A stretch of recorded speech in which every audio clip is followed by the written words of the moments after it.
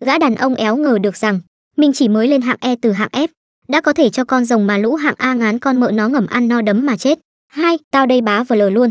Ban đầu anh ta chỉ nghĩ mình đang chuyển nghề ở tuổi trung niên và bắt đầu lại từ đầu, nhưng sau hai năm rưỡi tu luyện và trở lại giang hồ, anh đã trở thành kẻ mạnh nhất thiên hạ. Hóa ra những vị sư phụ trên núi của anh ta lại chính là đội mạo hiểm giả mạnh nhất thế giới hiện nay. Sau khi được họ huấn luyện bài bản, Nam Chính thậm chí có thể dễ dàng trở thành mạo hiểm giả hạng S mạnh nhất, nhưng Nam Chính đã quen với việc bị các sư phụ khủng bố rồi, nên anh luôn cảm thấy mình vẫn còn non và xanh lắm. Dù trong lòng còn nhiều lo lắng, anh vẫn quyết định xuống núi theo đuổi ước mơ và bắt đầu hành trình mạo hiểm của một ông chú 32 tuổi. Nam Chính đã đến tham gia kỳ thi mạo hiểm giả hạng E. Cô gái ở quầy lễ tân đã nhận ra Nam Chính ngay lập tức, bởi vì hai năm trước Nam Chính từng là đồng nghiệp của cô ấy, nhưng đột nhiên nghỉ việc và nói rằng muốn trở thành một mạo hiểm giả. Hai người đang định ôn lại chuyện cũ thì một tên say rượu bất ngờ đến gây chuyện. Hắn ta muốn rủ cô gái ở quầy lễ tân đi uống rượu, bị từ chối, hắn ta còn định cưỡng ép đưa cô ấy đi. Nam Chính thấy vậy liền định can thiệp.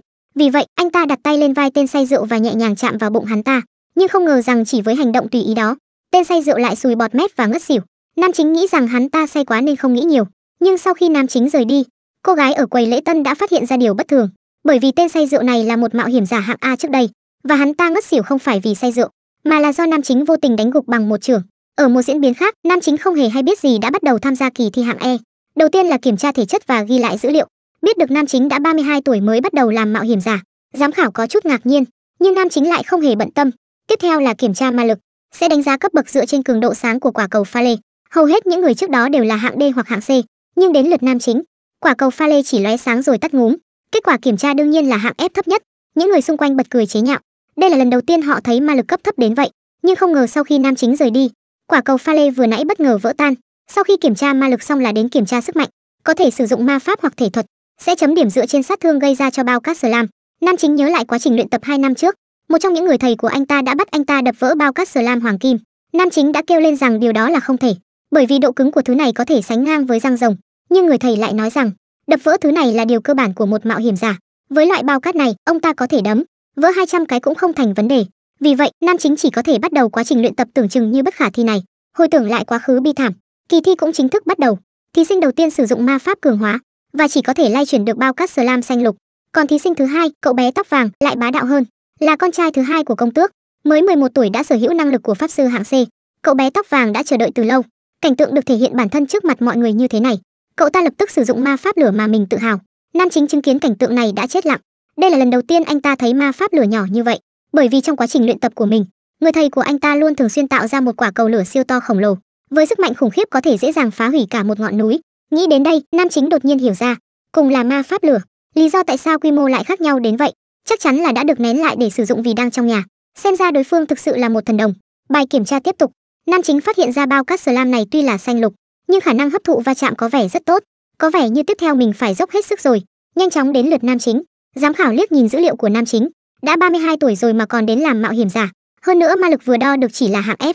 Ông ta khuyên Nam Chính nên bỏ cuộc sớm thì hơn, nhưng điều này càng khiến Nam Chính thêm quyết tâm. Anh ta đã khổ luyện 2 năm trời, chẳng phải là vì khoảnh khắc này sao? Đúng là tôi bắt đầu muộn hơn người khác nhưng điều đó không quan trọng. Bất kể tuổi tác nào cũng có thể trở thành mạo hiểm giả, bất kể tuổi tác nào cũng có thể bắt đầu những điều mới mẻ. Không phải sao? Đây là hàng lỗi à? Cú đấm này của nam chính khiến mọi người chết lặng, nhưng điều này lại khiến cậu bé tóc vàng không hài lòng, lại có kẻ dám cướp mất hào quang của mình, nhưng cậu ta lập tức tự an ủi mình. Bài kiểm tra phòng thủ tiếp theo mới là sở trường của mình, nhưng không ngờ khi bài kiểm tra phòng thủ bắt đầu, lại một lần nữa nam chính tỏa sáng rực rỡ. Anh ta chỉ sử dụng ma pháp phòng thủ cấp 1, đã chặn được ma pháp tấn công cấp 4 của giám khảo. Điều này khiến giám khảo không thể tin nổi. Vì vậy, anh ta muốn sử dụng ma pháp cấp 5 để thử lại một lần nữa. Anh ta đề nghị nam chính sử dụng ma pháp phòng thủ cấp cao hơn, nhưng nam chính nói rằng cho dù là ma pháp tấn công hay phòng thủ, anh ta cũng chỉ biết một loại cấp 1 mà thôi. Nhưng đừng lo, dựa vào cảm giác vừa rồi, anh ta cảm thấy mình có thể đỡ được. Giám khảo cảm thấy bị coi thường. Vì vậy, anh ta đã dốc toàn lực sử dụng ma pháp gió mạnh nhất của mình. Sức mạnh khủng khiếp này ngay lập tức phá vỡ kết giới của trường thi. Chuyện bên này đã thu hút sự chú ý của một hiệp sĩ hạng nhất đi ngang qua. Anh ta đến hiện trường và nghe được một thông tin khó tin. Một mạo hiểm giả tân binh không chỉ đập vỡ bao cát slam xanh lục, mà còn dùng ma pháp cấp 1 chặn được ma pháp cấp 5. Anh ta cho rằng đó là điều không thể. Vì vậy, anh ta yêu cầu được xem hồ sơ của nam chính. Rick Gladiator, 32 tuổi, đã làm việc tại quầy số 14 của chi nhánh hội Tiger Road Thinkat trong 14 năm. Hiệp sĩ càng thêm khó hiểu sau khi xem xong. Chẳng lẽ cái quầy này là danh hiệu đặc biệt được trao cho dũng sĩ diệt rồng sao? Ở một diễn biến khác, nam chính đã hoàn thành bài kiểm tra viết cuối cùng. Anh ta rất tự tin bởi vì bản thân đã từng là công chức 14 năm. Loại bài kiểm tra này chỉ là chuyện nhỏ.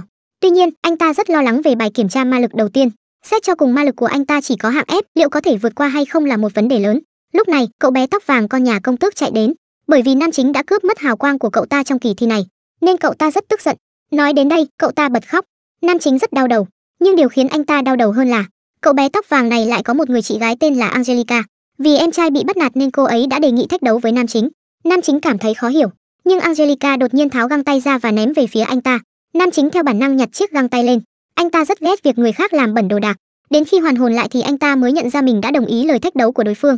Vì vậy, hai bên đã đến đấu trường. Angelica bắt đầu giới thiệu luật lệ. Mỗi bên có thể đưa ra một yêu cầu để giành chiến thắng, và yêu cầu của cô ấy là người thua phải làm nô lệ cho người thắng đến chết. Thấy đối phương tự tin như vậy, nam chính có chút lo lắng. Vì vậy, anh ta hỏi nữ hầu, Angelica là người như thế nào? Nữ hầu giải thích rằng Angelica là hiệp sĩ hạng 2 của đoàn hiệp sĩ vương quốc, thực lực tương đương với mạo hiểm giả hạng B. Nam chính nghe xong càng thêm lo lắng. Mạo hiểm giả hạng B có thể một mình đấu với quái vật cấp cao sao? Mình lại phải đấu với đối thủ như vậy sao? Nam chính cảm thấy mình chết chắc rồi. Nhưng nữ hầu lại nói, vậy thì ngài hãy nhớ lại quá trình luyện tập 2 năm qua đi. Nam chính nhớ lại rất nhiều ký ức đau khổ và nôn thốc nôn tháo. So với việc luyện tập thì trận đấu này còn dễ dàng hơn. Nữ hầu tiếp tục an ủi, ngài không cần phải căng thẳng bởi vì ngài là thành viên của đội mạnh nhất lục địa Orihan Confist. Nghe vậy, nam chính cũng quyết định đối mặt với đối thủ. Thấy nam chính đã sẵn sàng, Angelica lại buông lời chế nhạo, chỉ là một tên tân binh hạng F. tôi sẽ nương tay, không lấy mạng anh đâu. Nói xong, Angelica sử dụng ma pháp để cường hóa bản thân, sau đó sử dụng kỹ năng bước chân thần tốc mà cô ấy tự hào. Cô ấy cho rằng nam chính nhất định không thể né tránh được đòn này, nhưng kỳ lạ là cô ấy lại chém hụt. Vì vậy, cô ấy vội vàng nói dối rằng coi như đây là quà gặp mặt, tôi cố tình tha cho anh một mạng. Cậu em trai nghe vậy liền bắt đầu chế nhạo nam chính. Chị gái của tôi được mệnh danh là Angelica tia chớp, mắt của ông chú căn bản không thể theo kịp tốc độ của chị ấy đâu. Nam chính cảm thấy khó tin, vì vậy anh ta dụi mắt. Quả nhiên, khi Angelica tấn công lần nữa, anh ta lại một lần nữa hoài nghi cuộc đời. Tia chớp gì mà chậm vậy, thậm chí còn chậm hơn nhiều so với lúc tôi chạy bộ. Vì vậy, nam chính dễ dàng né tránh đòn tấn công thứ hai. Điều này khiến Angelica phải thốt lên không thể nào. Người có thể phản ứng với tốc độ của cô ấy, ngay cả trong số các hiệp sĩ hạng nhất cũng không có mấy ai. Cô ấy cho rằng nam chính chắc chắn là né được do may mắn, vì vậy cô ấy lại sử dụng bước chân thần tốc.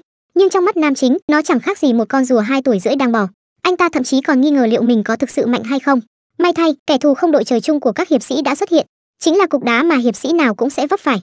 Khi nam chính tưởng mình mạnh vê lù thì nhìn lại thấy Angelica tung ra đòn lăn cầu tất sát.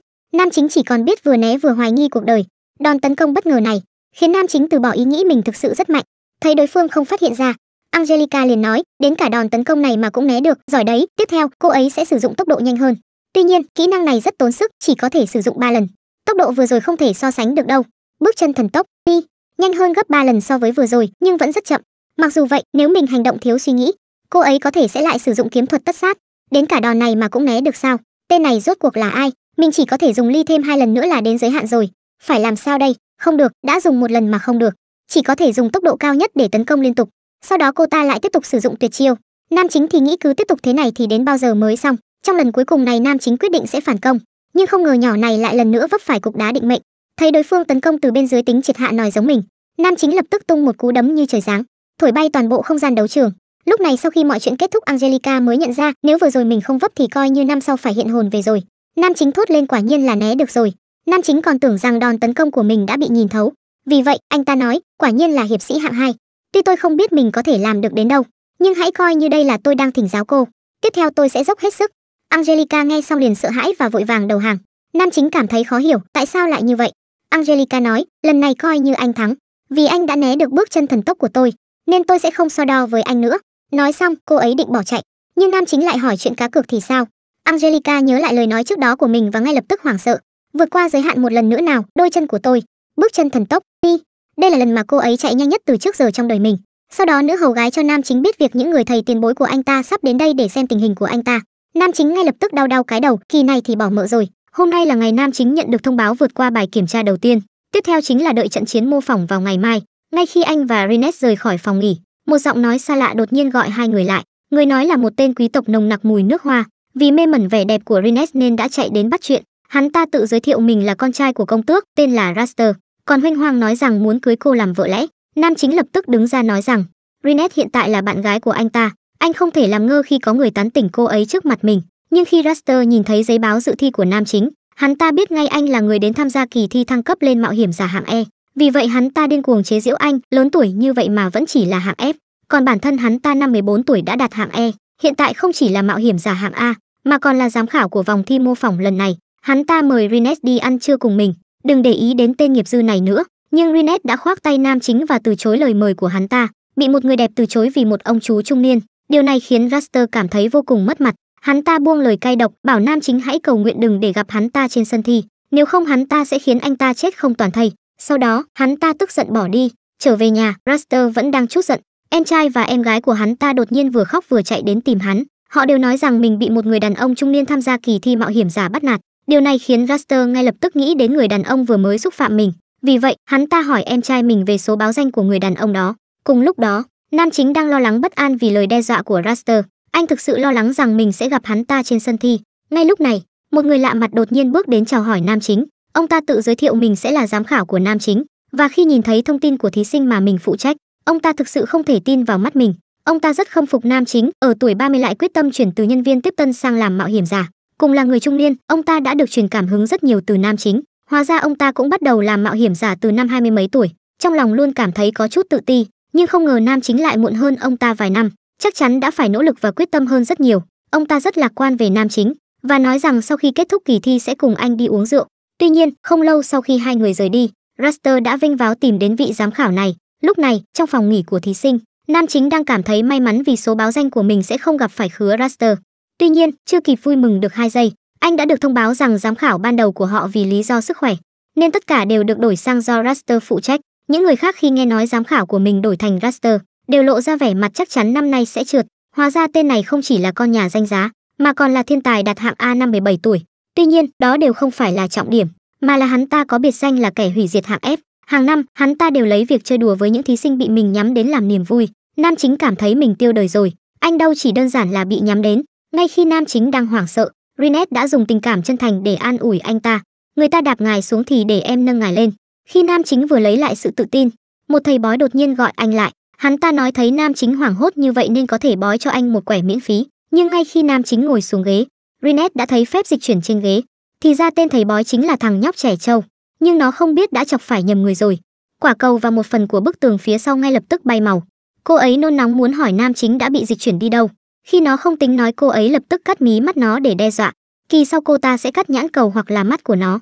Điều này khiến nó sợ đái ra quần và khai ra nam chính chỉ ở trong phạm vi 100 mét. Nam chính bị dịch chuyển đến một bãi đất trống phía sau sân thi và đội cận vệ của Raster đã đợi sẵn ở đó. Chúng không muốn Raster phải tự mình ra tay, vì vậy muốn cho nam chính ngủ một giấc ở đây, khiến anh bị loại trực tiếp vì không thể tham gia kỳ thi. Ngay khi nam chính nghĩ rằng mình đã hoàn toàn tuyệt vọng, thì các tiền bối của anh đột nhiên xuất hiện. Họ thắc mắc nam chính đang thi mà ra đây chơi làm cái gì. Mặc dù những tên này đến để gây rắc rối cho mình, nhưng nam chính cảm thấy họ cũng không đáng bị giết, nên đã nói dối rằng đây đều là bạn bè đến giúp anh khởi động. Anh còn muốn đội trưởng đội cận vệ dẫn người của mình rời đi. Tuy nhiên, tên đầu chọc này vẫn chọn cách tìm chết. Hắn ta trực tiếp vung kiếm chém về phía Browston. Tuy nhiên, điều này không những không làm đối phương bị thương, mà còn khiến thanh đại kiếm của hắn ta vỡ vụn. Còn Mizet lại nhận ra rằng những người này đến để gây rắc rối cho nam chính. Vì vậy anh ta định thay nam chính giải quyết hết bọn chúng. Đó là cái gì vậy? Siêu súng số 3 Juliet cải tiến mà tôi mới phát triển gần đây. Dị giới mà chơi cả súng bắn luôn thì tôi nể khứa này thật. Nhưng lúc này, những tên cận vệ còn lại lại tưởng Aliceret ngồi bên cạnh là cô bé vô hại, nên đã bắt cóc cô bé để uy hiếp nam chính và những người khác. Tuy nhiên, tên này chỉ vô tình làm cô bé bị đau, liền bị ma thuật nổ tung đến mức không còn mảnh nào. Lúc này, đội trưởng đội cận vệ đã nhận ra tất cả bọn họ. Cô bé này là một ma cà rồng thuần chủng, thiên tài ma thuật 10 tuổi, thiên tài hủy diệt Aliceret. Cậu bé kia cũng không phải là một đứa trẻ, mà là con lai giữa người lùn và elf, tuổi thật chắc đã hơn 50. Anh ta có thể sử dụng công nghệ cao siêu như đến từ ngàn năm sau, là thợ chế tạo vũ khí mạnh nhất thế giới, nghìn năm công xưởng Mizet. Cuối cùng là gã to con kia, người sở hữu sức mạnh phi thường và trí tuệ hơn người, có thể sử dụng bất kỳ ma thuật hỗ trợ nào, hiên quỷ Browston. Đây chính là đội mạnh nhất lục địa được thành lập bởi toàn bộ mạo hiểm giả cấp S, Orichan Cừm Fish. Ông già được tận mắt chứng kiến những huyền thoại ngay lập tức muốn giải nghệ để an nhàn hưởng tuổi già. Aliceres một khi ra tay thì sẽ không ngừng lại, vậy thì lúc nam chính tập luyện cũng khổ phết đấy. Phía bên Rinet vẫn đang nắm đầu khứa nhóc. Cô ấy sẽ giữ nó cho đến khi nam chính trở về. Thằng nhóc còn đang huynh hoang nói nam chính sẽ không về được đâu thì nam chính về thật. Lúc này giám khám của nam chính người đầy thương tích cũng đi đến. Thì ra tên Raster đó đã tra tấn và hỏi ước mơ của ông ta là gì. Khi biết ông ta muốn xây trường cho những đứa trẻ có thể trở thành mạo hiểm giả, thì bị tên Raster sỉ nhục và hành hạ một trận sau đó còn nhốt ông ta lại. và lúc này nam chính đã quyết tâm sẽ tự tay đấm vào mồm thằng Raster đó. Trong thế giới này có bốn năng lực cơ bản: thể chất, kiểm soát cơ thể, lượng ma lực và kiểm soát ma lực. Và thanh niên này sau khi soi vào khứa Raster thì thấy lượng ma lực của hắn phun cây, nhưng khi nhìn vào nam chính thì trừ ma lực ít đến mức gần như không thấy được còn lại ba chỉ số kia thì không còn chỗ để mà đầy nữa mà tràn ra luôn con mợ nó rồi, đỉnh vãi. Vào lúc này em lễ tân đồng nghiệp cũ của rick đã chào hỏi Rinet. sau khi hai tâm hồn to lớn chào nhau thì cô ấy được dẫn đến chỗ nhóm tiền bối của rick. Đù ở đây có cả óc à. Khi Mizet muốn Rinet ngồi kế thì cô ấy từ chối vì không muốn bị xâm phục tình dạng. Mizet thấy vậy thì thôi mời Alika ngồi kế mình. Nhưng đã bị Rinet kéo đi vì sợ cô ấy cũng bị xâm phục tình dạng. Browston và mọi người rất tự tin vào nam chính nhưng Alika vì biết tên giám khảo là Raster dơ bẩn nên nghĩ Rick rất khó qua. Và khi nghe hắn hạng A, Browston càng khinh hắn ra mặt. Nam chính cuối cùng cũng xuất hiện. Điều này khiến Raster hơi bất ngờ. Nhưng với tính cách tự cao tự đại, hắn ta vẫn không để nam chính vào mắt. Xét cho cùng, cách biệt về sức mạnh ma pháp giữa hai người là một trời một vực. Tuy nhiên, nam chính cũng không hề sợ hãi. Ngược lại còn hỏi Raster lý do trở thành mạo hiểm giả là gì. Tuy nhiên, câu trả lời của Raster nằm ngoài dự đoán của nam chính. Hắn ta chỉ đơn giản là cảm thấy việc có được tư cách mạo hiểm giả cấp cao có thể nâng cao giá trị bản thân với tư cách là một quý tộc mà thôi. Nhưng giờ thì hắn ta không cần nữa rồi, và đang định tìm thời điểm thích hợp để từ chức. Nam chính nghe xong những lời này vô cùng tức giận, cảm thấy một kẻ như hắn ta đang sỉ nhục sự tồn tại của các mạo hiểm giả. Anh quyết tâm trận đấu này nhất định không được thua. Lúc này tên Raster tung ra kỹ năng cùi nhất để dọa nam chính, nhưng nam chính không hề nhúc nhích vì trước lúc đó, anh đã được Rinet dặn dò trong một phút đầu tiên phải giữ bình tĩnh, tập trung quan sát đối thủ. Tiếp theo tên Raster liền dùng ma pháp cấp 3 tấn công vào nam chính. Alika nhìn thấy vậy liền rất lo lắng cho anh ta. Tuy nhiên, đại ca của nam chính lại bảo cô không cần lo lắng. Trò bịp bộng như vậy đối với nam chính thậm chí còn không tính là tấn công. Bốn thuộc tính cơ bản ảnh hưởng đến sức mạnh của mạo hiểm giả. Mặc dù nam chính vì tuổi tác đã cao nên ma lực không thể tăng thêm được nữa, nhưng các tiền bối đã sắp xếp cho anh một phương pháp rèn luyện phù hợp. Phần ma lực không đủ sẽ được bù đắp bằng cách rèn luyện ba thuộc tính còn lại đến mức tối đa. Ban đầu nam chính phải đeo hai quả cầu vào chân, mỗi quả 100 kg sau đó chạy từ trong rừng đến thị trấn mà không bị quái vật nguy hiểm ăn thịt. Thể chất là do Browston luyện, kiểm soát ma lực thì Mizet. Browston biết Mizet là một tên lười chảy thay nhưng anh ta cũng đã kiên trì rèn luyện nam chính trong 2 năm, khiến Browston cũng nể vãi. Còn Aliceres mặc dù là nói huấn luyện cho nam chính kháng phép, nhưng thật ra là làm cho nam chính chết đi sống lại. Huấn luyện kiểm soát cơ thể thì do Rines đảm nhiệm. Alika giật mình cứ tưởng cô ấy là hầu gái bình thường thôi. Ai dè cũng là mạo hiểm giả hạng S. Mizet cho biết đó chỉ là sở thích hầu gái của Rines thôi sở thích đảm đang thật. Và nam chính đã không khiến họ thất vọng. Anh ấy đã nỗ lực hết mình để theo kịp tất cả các bài tập luyện. Trên thực tế, bây giờ anh ấy đã đạt đến cấp độ của một mạo hiểm giả cấp s. Và cứ như vậy, dưới sự lừa phỉnh của nhóm tiền bối, cho đến tận bây giờ nam chính vẫn không biết thực lực thực sự của mình. Và lúc này trên đấu trường, raster phát hiện ra ma pháp của mình không có tác dụng gì với nam chính, nên định dùng ma pháp cường hóa cơ thể để đánh giáp lá cả tiếc là hắn ta đã bị nam chính đấm bay ra ngoài chỉ với một cú đấm. Và lúc này nam chính cũng đã hiểu ra kẻ trước mắt chỉ dựa vào tài năng thiên bẩm. Mặc dù sở hữu ma lực cực kỳ lớn nhưng ngoài việc đó ra thì còn lại chẳng ra gì. Kỳ này nam chính không còn phải lo lắng hay né tránh nữa. Anh ta trực tiếp đưa tay ra chặn đòn của tên raster. Mizet cho biết nam chính dù lượng ma lực của nam chính rất ít, nhưng anh ta có độ chính xác cao trong việc kiểm soát, nên dù không cần nhiều ma lực vẫn có thể dễ dàng chặn đòn của đối phương. Ngay khi raster đang muốn dùng tăng cường tốc độ, nam chính bất ngờ xuất hiện trước mặt hắn và tung đấm. Nếu không phải do hắn ta phản xạ lẹ thì xem như game over rồi và nam chính cho đến giờ chỉ sử dụng mỗi kiểm soát cơ thể. Raster khinh thường, trong hai năm làm sao từ một kẻ phế vật có thể mạnh như vậy chứ? Nhưng điều này đã khiến nam chính càng tức hơn. Mày thử chết đi sống lại như tao xem rồi hiểu. Nhớ lại những khoảnh khắc ấy nam chính dùng mình. Browston cho biết nam chính đã chết rất nhiều, nhưng khi nam chính vừa chết thì ông ta vẫn có thể hồi sinh nam chính bằng phép hưu. Cứ như vậy liên tục lặp lại đã khiến nam chính trở nên vô địch. Ước mơ của Raster là được hành hạ kẻ yếu, nhưng còn nam chính là muốn được đánh bại con quái vật mạnh nhất Kaiser Ansafiet. Nghe điều này anh em nhà quý tộc ngu đều cười lớn. Và mục tiêu của đội mạo hiểm giả mạnh nhất Orihan Fist cũng chính là đó. Nhưng lúc này Raster cũng không muốn dây dưa với nam chính nữa và chuẩn bị cho anh ta thấy khả năng thực sự của mình. Hắn ta dùng dây leo ma pháp trói nam chính lại, sau đó sử dụng bát giới ma pháp triệu hồi một con quái vật cây. Điều này khiến khán giả trên khán đài vô cùng kinh ngạc. Đây là lần đầu tiên họ được tận mắt chứng kiến bát giới ma pháp. Nam chính cũng dùng ma pháp cơ bản nhất để đối đầu với hắn. Raster là kẻ được mệnh danh có nghìn chiêu thức, nhưng khi nghe nam chính nói mình đã luyện tập chiêu thức đấm phát chết luôn này 100 triệu lần, khiến mọi người đều không tin. Nhưng Browston cho biết nam chính không xạo loèn đâu, thật đấy. Ngay khi cả hai nấm đấm chạm vào nhau, sóng xung kích ngay lập tức lan ra khắp nơi. Nhưng con quái vật cây khi nứt ra từng miếng, đã khiến Raster rên rỉ như đang bị thít đông. Nam chính không nhúc nhích dù chỉ một chút. Raster thì như một đống kít nằm một đống. Sau khi bài kiểm tra kết thúc, các tiền bối đều chúc mừng và khen ngợi nam chính. Và lúc này anh ta cũng đã nhận ra mình bá vãi loèn. Raster vẫn không phục, bất chấp vết thương liền chạy thẳng đến phòng nghỉ của thí sinh để tìm nam chính gây sự. Tuy nhiên, nam chính không hề tức giận với hắn ta, ngược lại còn nói cho hắn ta biết lý do mình có thể thắng hắn ta, là vì bản thân đã dồn hết tâm sức vào duy nhất một chiêu thức và rèn luyện nó đến mức hoàn hảo. Hôm nay, anh sẽ truyền lại kinh nghiệm này cho hắn ta và mong chờ màn thể hiện của hắn ta trong tương lai. Raster nghe xong những lời nam chính nói liền im lặng và thề rằng sau này tất cả các bài kiểm tra của nam chính sẽ do hắn ta phụ trách. Hắn ta nhất định sẽ có ngày đánh bại được anh. Mặc dù khứa em út với thằng anh cả mất dạy về lù, nhưng được cô em Angelica vẫn lịch sự cúi đầu chào nam chính trước khi đi. Đến chiều tối, nam chính lúc này đang đợi kết quả, còn đội của anh thì đã rời đi để ăn mừng. Anh ta đã tự tin hơn vào bản thân và không còn căng thẳng nữa. Khứa mê nhà ta, từ thuở vỡ lòng đã mơ ước được làm siêu nhân, à nhầm, mạo hiểm giả lừng danh, mà đời nó éo như là mơ đâu, anh ta éo ngờ được, cái kỹ năng mà người ta thức tỉnh trong vài ngày, lại phải chờ đến khi ảnh U30, tóc lấm tấm muối tiêu mới chịu ngoi lên. Ấy vậy mà chỉ với lần đầu xuất chiêu, anh đã cho con rồng to như cột điện, cân được cả mạo hiểm giả hạng B, ăn hành ngập mồm.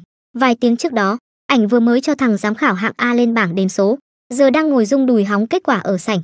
Rinet, cô nàng xinh đẹp, soi ra tâm trạng của ảnh. Khứa Mên lại chìm đắm vào dòng hồi tưởng, ảnh nghiện mấy câu chuyện mạo hiểm giả như nghiện thuốc, quyết tâm lớn lên sẽ làm siêu nhân, à nhầm, mạo hiểm giả. đấm đá tơi bời với con quái vật mạnh nhất thế giới, nhưng mẹ anh lại bảo, làm mạo hiểm giả nó nguy hiểm vê lù, lúc nào cũng lo ăn cám. Sơ sẩy là đi bán muối ngay, bà cấm tiệt anh theo nghề đấy.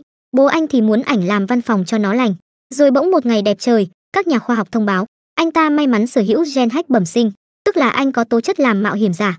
Gen này hiếm về lù ra, chưa biết bao giờ nó mới chịu hiện nguyên hình, nhưng mà cũng cho cậu bé một tia hy vọng. Cậu bé ngày nào cứ mơ mộng mình là siêu nhân hạng S, tao cũng hách được bẩm sinh như Yamato huyền thoại đấy nhá.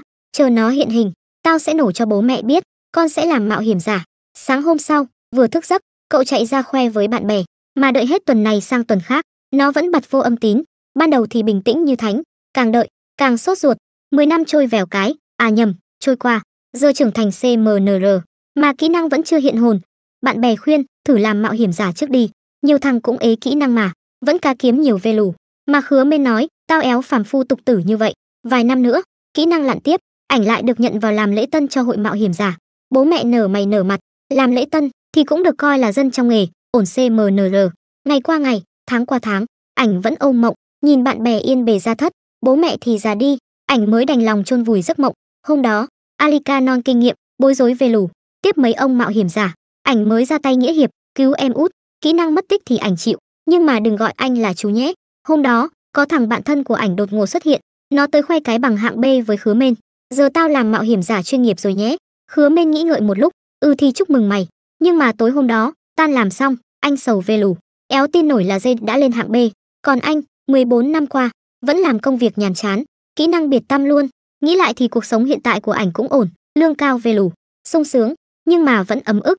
Giá mà kỹ năng xuất hiện, anh được làm mạo hiểm giả. Giờ anh cũng hạng BCMNR, đang mơ màng, đang phiêu, thì anh nghe thấy tiếng cầu cứu.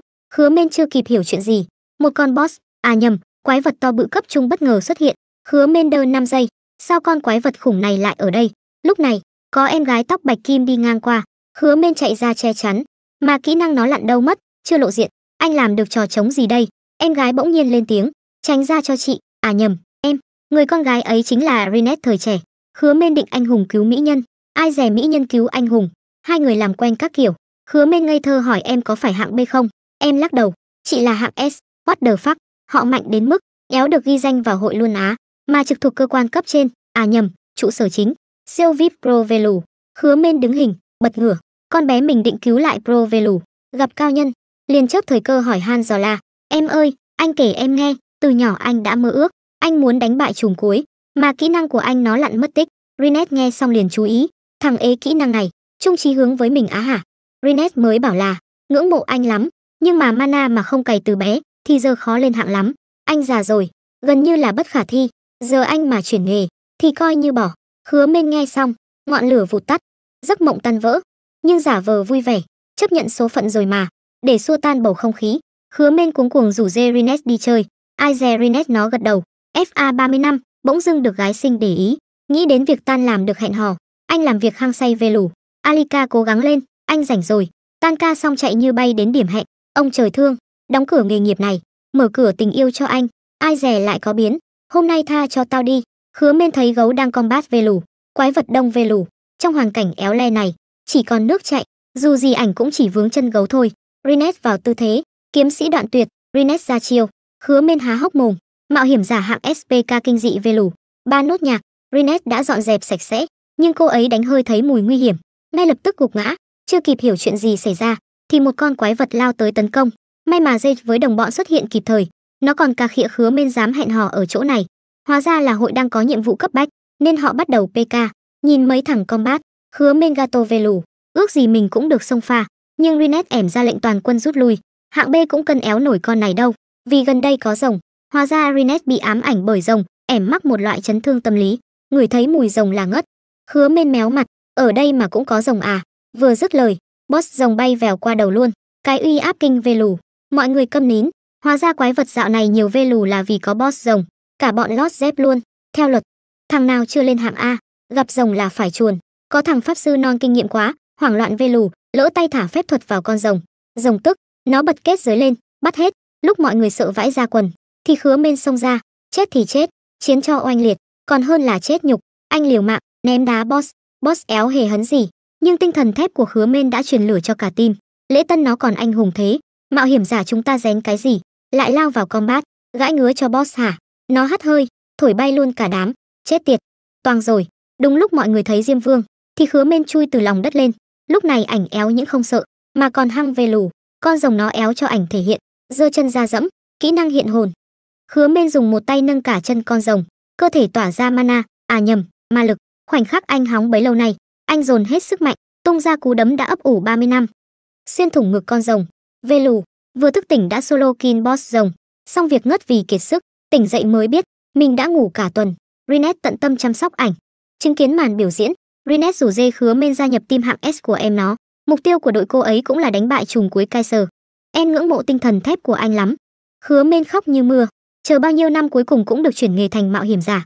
Và rồi loa phóng thanh số báo danh 4242 anh đã đậu cái bài thi hạng E. Cảm ơn tao, đã không bỏ cuộc, tao, lên đời CMNR. Gã đàn ông éo ngờ được rằng, mình chỉ mới lên hạng E từ hạng F, đã có thể cho con rồng mà lũ hạng A ngán con mợ nó ngầm ăn no đấm mà chết. Hai, tao đây bá vờ lờ luôn. Mới đây thôi, để chúc mừng men của chúng ta vượt qua kỳ thi hạng E. Giám khảo kỳ trước, Laurot đã ngỏ ý rủ thằng Khứa đi nhậu nhẹt. Điều khiến men bất ngờ là, lão này lại muốn về nhà men tụ tập luôn. Kiểu gì cũng phải diện kiến mấy ông thầy của thằng Khứa. Cái mặt của chú là sao vậy? Cậu ta còn nói là nếu phải đến thì phải lên đồ đẹp nhất vào. Vậy là men bảo khứa ta đeo đồ xịn nhất vào luôn. Bọn họ trò chuyện một hồi, Lauros vẫn chưa hiểu ý men là gì.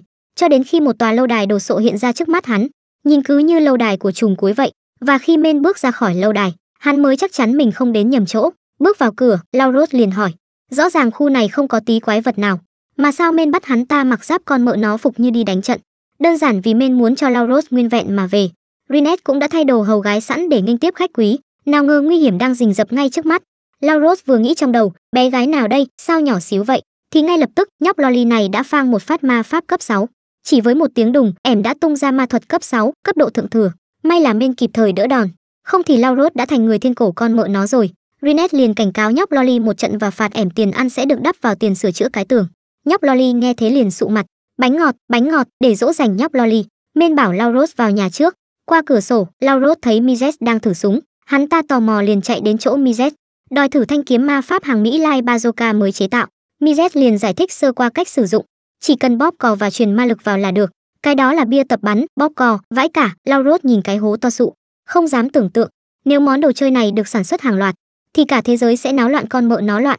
Laurot chóng váng bởi quá nhiều sự thật phũ phàng ập đến cùng một lúc, hoang mang tột độ. Lúc này, hắn ta nhìn qua khe cửa, thấy Browston, gã óc đang mải mê đọc sách, Ông thầy óc này nhận ra có khách liền mời Lauros vào phòng, nhìn thấy cả núi sách, Lauros khẳng định ngay, ông thầy óc này chắc chắn là cao thủ trí tuệ uyên bác lắm đây. Sau khi biết tất cả tài nghệ của men đều do ông thầy óc này rèn rũa, Lauros bèn ngỏ ý muốn thử một phen, mặc dù chỉ là chỉ dạy thôi, nhưng ngay sau đó hắn ta hối hận vừa lờ. Men vừa mới giải quyết xong nhóc Loli, nghe được câu đấy khứa sợ đến nỗi muốn tè con miệng nó ra quần, quả nhiên, thế là Lauros bị trói hai chân vào hai quả tạ, lăn thẳng xuống vực. Các con gái của cha, cha của các con xong con mợ nó đời rồi, May mà Rinet kịp thời ra tay, dùng một con lợn rừng to tổ bố đỡ lấy Lauros, hắn ta chưa hết hoang mang về việc tại sao ông thầy óc lại cho men tập luyện kiểu tử thần thế này, thì Rinet phán cho một câu xanh dờn, anh ta chết đến chục lần rồi, bây giờ hắn mới hiểu tại sao men lại bắt hắn mặc đồ đẹp đến thế, bởi vì mặc đồ đẹp đến đâu cũng chịu hết nổi mấy bài tập của mấy người này đâu. Hắn ta còn chưa kịp hoàn hồn đã bị ông thầy óc lôi đi, cho đến khi hoàng hôn buông xuống, Laurot đã bị hành hạ đến chết đi sống lại. Rõ ràng ông thầy óc chỉ nói là tập nhẹ nhàng thôi, nhưng Ben đã cảnh báo trước đừng bao giờ tin lời gã óc này bởi vì trừ rinet những gì ba người kia nói đều không thể tin được lúc này, ông thầy óc thản nhiên nói, thì hồi sinh hắn ta là được rồi. Ông coi mạng người là cái éo gì vậy? Nhóc loli cũng muốn chơi với lauros nhưng bị men ngăn lại. Bởi vì lỡ may biến thành cho bụi thì đến hồi sinh cũng bó tay. Sau đó, họ đi đến phòng ăn. Rinet pha trà cho mọi người. Lauros không khỏi ghen tị với men khi lauros hỏi han về tiến độ tình cảm của hai người, thì men tỏ vẻ tự ti vờ lờ. Lauros liền nói với men rằng, tuổi tác chỉ là con số. Vợ hắn ta cũng kém hắn tận 20 tuổi. Quan trọng là phải biết nắm bắt thời cơ bạn nào đang xem video này thì nhớ like, share và subscribe kênh nhé. Chúc các bạn luôn biết cách nắm bắt tình yêu. Tới giờ ăn tối Rinet lại thể hiện đẳng cấp hầu gái chuyên nghiệp. Tranh thủ lúc mọi người nhờ Rinet lấy đồ. Lauros vội vàng ra hiệu cho men. Thấy chưa, đây mới gọi là nắm bắt thời cơ này. Nhanh lên, đi giúp cô ấy đi. Tranh thủ kéo gần khoảng cách giữa hai người đi chứ. Nghe vậy, men liền đi theo. Sau khi men rời đi Lauros tò mò về kỹ năng cố hữu của men rốt cuộc là gì. Nhưng ông thầy óc cho biết kỹ năng của men là bị động. Ngay cả men cũng không thể tự kích hoạt nhưng cho dù không sử dụng vũ khí hay kỹ năng thì sức mạnh của men cũng đã đạt đến cảnh giới hạng s. Nhưng nếu anh ấy có thể tự kích hoạt kỹ năng thức tỉnh thì ngay cả bọn họ cũng không phải đối thủ. Lauros không ngờ men lại bá đạo đến vậy. Lúc này, ông thầy óc lại hỏi ngược lại Lauros có biết ma thạch có tên là lục bảo châu hay không? Hắn chỉ mới nghe nói đến thứ này trong truyền thuyết thôi. Không ngờ thứ đó lại có thật. Lục bảo châu là sáu viên ngọc ở cánh cổng xoắn ốc. 200 năm mới xuất hiện một lần.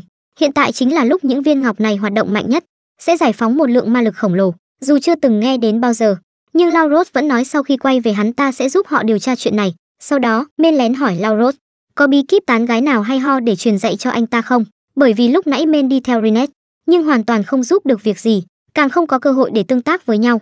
Lauros nghe xong chỉ biết cười trừ. Vài ngày sau, tại quầy lễ tân của hội, một cô gái tóc ngắn đang than thở về việc không được ra chiến trường làm mạo hiểm giả.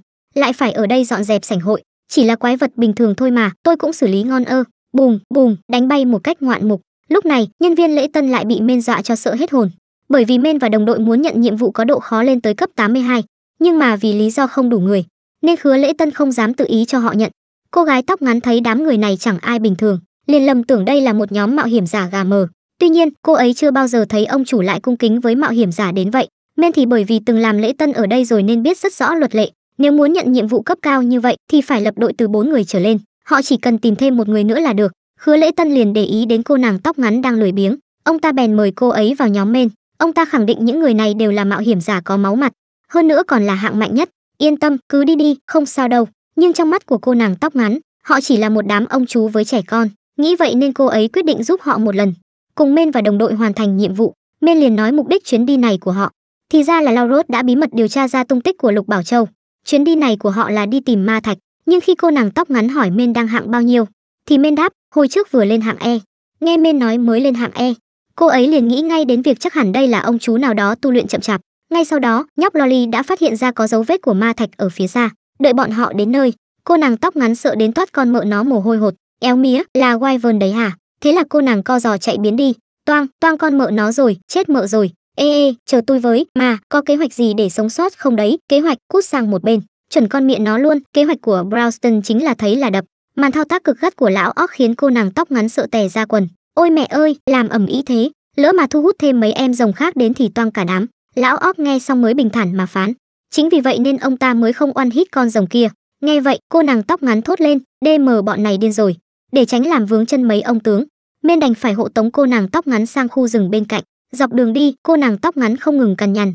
Nói đây không phải đi làm nhiệm vụ nữa mà là giết người diệt khẩu con mợ nó rồi chưa bao giờ đời cô ta lại nhận cái nhiệm vụ nào khốn nạn như thế săn rồng á cùng lúc đó ở nhà rinet đang lo sốt vó cho sự an toàn của men nào ngờ đâu, chị đại lại sập bẫy của Mizet một cách rất chi là lãng xẹt. Tên Mizet này bày đặt lợi dụng mấy món đồ chơi công nghệ cao, lén lút điều tra bí mật của chị đại. Ai ngờ đâu vừa mới giở trò mèo đã bị Rinet túng cổ ngay. Chính là lúc này, đến đây rồi, Rinet ngay lập tức cắt banh cái máy của khứa ta. Vâng, còn về phần men thì khỏi lo, bởi vì có lão óc với nhóc Lolly cân tim rồi mê nhà ta chỉ cần ngồi hóng là được, chỉ thấy rồng văng lên trời tứ tán. Khứa óc và em Lolly thì quẩy điên cuồng phía dưới, cô nàng tóc ngắn còn đang ngơ ngác chưa hiểu chuyện gì xảy ra thì đã bị men ực một cái bế lên. Lúc này thì chị đại rồng đỏ với cơn thịnh nộ ngập trời đột ngột phóng đến. Mẹ ơi khủng long kìa đây chính là em rồng bá đạo khiến mấy thánh hạng a cũng phải ngán con mợ nó ngầm. Lúc này thì cô nàng tóc ngắn sợ đến đái con mợ nó ra quần. Nhưng bên nhà ta vẫn cứ bình tĩnh như tờ éo thèm chạy. Thậm chí còn tiến lên thử xem con sen này level mấy. Thấy men dũng cảm tiến bước về phía trước cô nàng tóc ngắn thể sống thể chết sẽ không bao giờ bỏ bạn mà chạy lấy thân cô ta sẽ sống chết có nhau với men khổ nỗi thánh nữ đâu có biết men khinh thường việc phải nhờ vả đến cô ta Hứa Men oan sót con rồng chỉ bằng đấm thường nghiêm túc, mắt cô nàng chỉ hiện lên cái loèn gì vậy? Hai, đúng là mình bá cờ mờ giờ đạo mà. Lúc đó, trong mắt của cô nàng tóc ngắn, Hứa Men cực kỳ bá đạo. Sau khi quay lại hội, cô nàng tóc ngắn hoàn toàn vỡ mộng, hoang mang tột độ. Hứa ông chủ thấy vậy bèn ra an ủi. Dù sao thì đó là nhóm mạo hiểm giả mạnh nhất hiện nay, bá đạo trên từng hạt gạo, toàn quái vật hạng S đấy. Ông ấy cứ nghĩ sau khi chứng kiến màn biểu diễn mãn nhãn kia, cô nàng tóc ngắn sẽ ngoan ngoãn trở lại làm một nhân viên quèn. Nhưng ai ngờ, cô ta lại tràn đầy nhiệt huyết, quyết tâm phải trở thành một mạo hiểm giả thần thánh hạng S. Thế là chị đại bèn nghỉ việc con mợ nó luôn, rồi đăng ký thi lấy chứng chỉ hạng E. Lần mạo hiểm kịch con bà nó tính này đã giúp Men và đồng bọn đạt được hồng hoa, một trong sáu viên ngọc của lục bảo thạch nước danh. Mizet cảm nhận rất rõ ràng ma lực kinh hồn bạt vía từ viên ngọc này. Tao nói cho mà nghe, chỉ cần dùng hồng hoa tạo ra cộng hưởng, chắc chắn chúng ta sẽ tìm thấy tung tích của mấy viên còn lại. Nói rồi, Mizet bắt đầu sâu ma pháp, ma pháp cấp 6, cấp độ thượng thừa, đo con mợ nó đặc địa hình. Lão óc liếc qua một cái rồi phán ngay. Đây chính là Heractopia, đất nước nổi tiếng với võ thuật. Cùng lúc đó, trên đấu trường lớn nhất Heractopia, một bóng dáng quen thuộc bỗng xuất hiện, khứa này là Angelica Tia Trúc mà, người đàn ông không thể ngờ được, viên ma thạch mà mình vất vả tìm kiếm, lại được cất giấu trên chiếc đai vô địch của nhà vô địch quyền vương, và cách duy nhất để có được ma thạch là đánh bại nhà vô địch quyền vương, hóa ra là hai phút rưỡi trước đó, nhằm tìm kiếm sáu viên ma thạch, Nam chính đã đến đất nước Hera, nơi nổi tiếng với đấu trường. Browston nhìn bức tượng quyền vương ở đây và không khỏi muốn được so tài với quyền vương ở đây, nhưng Nam chính lại cho rằng nếu thực sự đánh nhau, cả đất nước này sẽ bị hủy diệt. Đất nước mà họ đến lúc này là nơi mà nghề nghiệp được yêu thích nhất chính là võ sĩ. Mặc dù giải trí võ thuật ở đây rất thịnh hành, nhưng việc cấp bách lúc này vẫn là tìm kiếm ma thạch. Tuy nhiên, ngoại hình của Browston quá đáng sợ, khiến người qua đường sợ hãi bỏ chạy. Vì vậy, họ quyết định đến cơ quan công quyền để hỏi thăm. Nhưng đúng lúc này, một tiếng động lạ vang lên từ xa. Hóa ra là có một gã đầu chọc đang trêu chọc một cô gái xinh đẹp và điều mà Browston không thể chịu đựng nhất chính là những tên khốn nạn bắt nạt con gái. Tuy nhiên, gã đầu chọc vẫn chưa biết được cái chết đang đến gần, vẫn tiếp tục dựa vào thân phận võ sĩ của mình để khiêu khích Browston, thậm chí còn muốn lôi ông ta ra để đấu tay đôi.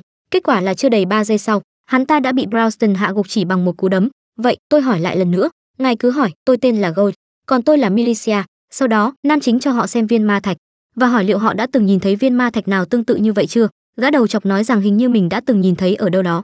Ngay cả cô gái xinh đẹp bên cạnh cũng đồng ý, nhưng họ không thể nhớ ra là đã nhìn thấy ở đâu. Nghe xong, nam chính sốt ruột như lửa đốt, nhưng trong khi họ đang suy nghĩ, một tiếng ồn ào vang lên từ bên cạnh.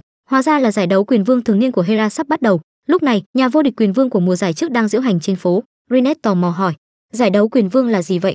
Nghe vậy, gã đầu chọc giải thích, đó là giải đấu để xác định nhà vô địch quyền đấu sĩ. Mỗi năm có tới 500.000 khán giả đến xem giải đấu, và người đó chính là Kelvin nhà vô địch quyền vương đã năm lần bảo vệ thành công danh hiệu. Cả khán đài đều hô vang MVP cho anh ta. Và đúng lúc này, gã đầu chọc và cô gái xinh đẹp đột nhiên nhớ ra đã nhìn thấy viên ma thạch ở đâu. Họ chỉ vào chiếc đai của quyền vương. Không phải viên đá được đính ở giữa chính là viên ma thạch mà họ đang tìm kiếm sao? Đó chính là vương hoàng, một trong sáu viên ngọc quý. Tìm thấy rồi. Lúc này, người đàn ông cũng đã trở về võ đường trong tiếng reo hò. Vào lúc này, một người đàn ông một mắt đến tìm kelvin. Ông ta đến và hỏi thăm tình hình gần đây của kelvin. Kelvin đang phiền não vì không tìm được đối thủ mạnh, đang nói chuyện. Nam chính và mọi người đến người đàn ông một mắt tưởng họ là người hâm mộ của quyền vương và định đuổi họ đi Browston không chút do dự, trực tiếp đi thẳng vào vấn đề, yêu cầu Kelvin đưa viên ma thạch trên đai của anh ta. Nhà vô địch à, đưa chiếc đai của anh ra đây, dù có thẳng thắn đến đâu cũng phải có giới hạn chứ. Browston nói rằng viên ma thạch đó là đồ của đồng đội ông ta, mặc dù ông ta sẽ lấy viên đá quý trên đai của Kelvin, nhưng ông ta sẽ chuẩn bị một viên đá quý cùng cấp để bồi thường cho Kelvin.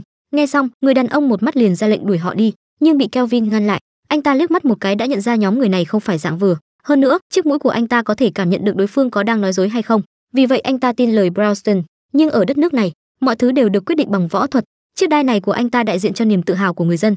Vì vậy nếu nam chính và mọi người muốn có được chiếc đai này họ phải giành lấy nó bằng võ thuật. Nghe xong Browston không nói gì thêm. Vì đây là chuyện phải giải quyết bằng vũ lực nên căn bản không phải là vấn đề. Đúng vậy anh nói có lý. Sau khi nam chính và mọi người rời đi người đàn ông một mắt bắt đầu phàn nàn. Vì vừa rồi đã không cho nam chính và những người khác một bài học nhưng quyền vương lại cho rằng nếu thực sự đánh nhau ước chừng các thành viên trong võ đường đều sẽ gặp nạn từ lúc nam chính và mọi người bước vào anh ta đã chú ý đến Rinet, cô gái mặc trang phục hầu gái, chỉ cần nhìn cử chỉ của cô ấy, anh ta đã biết đây là một cao thủ. Còn nam chính tuy không có sát khí đáng sợ như vậy, nhưng nhìn cơ thể là biết đã trải qua quá trình rèn luyện gian khổ. Còn tên óc phía sau, nhất định là kẻ mạnh nhất trong ba người. Điều này khiến Quyền Vương không khỏi phấn khích. Bên kia, Browston bước ra khỏi võ đường và yêu cầu nam chính đăng ký tham gia giải đấu cùng mình. Họ sẽ đánh bại Quyền Vương trên đấu trường và lấy viên ma thạch mà họ muốn. Để tham gia giải đấu, họ phải vượt qua vòng loại được chia thành hai khu vực đông và tây trong nước, vượt qua hàng vạn thí sinh khác Browston sẽ phụ trách khu vực phía đông, còn Nam Chính phụ trách khu vực phía tây. Mục tiêu của họ là gặp nhau tại trận chung kết. Nam Chính lo lắng cho Browston phải một mình lên đường, thì gã đầu chọc đã hóa thân thành đàn em, chuẩn bị xe ngựa cho Browston để trở thành quyền đấu sĩ. Họ phải vượt qua bài kiểm tra đầu tiên, Điều này cũng giống như bài kiểm tra của hội trong các cuộc phiêu lưu. Lần này, Nam Chính đã không còn sợ hãi nữa, vì anh ta biết mình đã trở nên mạnh mẽ đến mức đáng sợ, và đối thủ đầu tiên mà anh ta phải đối mặt vẫn chưa thua trận nào ở vòng loại. Tuy nhiên, giám khảo nhắc nhở Nam Chính rằng, thắng thua không phải là điều quan trọng, chỉ cần đạt tiêu chuẩn là được. Nhưng Nam Chính không ngờ rằng, trận đấu đầu tiên của mình lại gặp phải người quen cũ, để anh đợi lâu rồi. Tôi, Diamond Angelica sẽ là đối thủ của anh. Đối thủ này chẳng phải là Angelica trước đây sao? Lúc này, khán giả trên khán đài vẫn chưa biết sức mạnh thực sự của nam chính đáng sợ đến mức nào, chỉ biết cổ vũ cho Angelica, họ không hề biết rằng nam chính sắp trở thành con ngựa ô mạnh nhất. Lúc này, Angelica hỏi nam chính, tại sao lại xuất hiện ở đây? Đây cũng là câu hỏi mà nam chính muốn hỏi. Nhìn thấy Angelica đến đây, nam chính còn tưởng rằng anh trai và em trai của cô ta cũng đến, nhưng Angelica nói rằng chỉ có mình cô ta đến Hera. Mặc dù thắng thua trong trận đấu này không ảnh hưởng gì đến cô ta, nhưng nghĩ đến ngày hôm đó, nam chính có thể dễ dàng đánh bại anh trai cô ta, một mạo hiểm giả cấp A, cô ta liền toát mồ hôi hột. Khi trọng tài tuyên bố bắt đầu bài kiểm tra, Angelica liền lao lên định kết liễu nam chính, không ngờ cô ta lại ngã nhào. Cô ta còn tưởng rằng mình quá căng thẳng nên mới bị như vậy, nhưng chưa kịp để cô ta ra đòn lần thứ hai, cô ta lại ngã một lần nữa. Lần này, cô ta chắc chắn không phải do mình sơ suất. Lúc này, cô ta mới nhận ra, hóa ra là nam chính đang giở trò. Và đây chính là một trong tám tuyệt kỹ nhân từ mà nam chính mới học được, quét chân. Chiêu này là sát chiêu nhắm vào tất cả các đối thủ đứng yên, bằng cách liên tục quét chân. Chiêu thức này sẽ bào mòn ý chí của đối phương, dù sử dụng bao nhiêu lần, nó cũng sẽ không gây hại cho đối phương. Nghe vậy, Angelica lập tức hiểu ra, nam chính đang quét chân cô ta với tốc độ mà mắt thường không thể nhìn thấy được.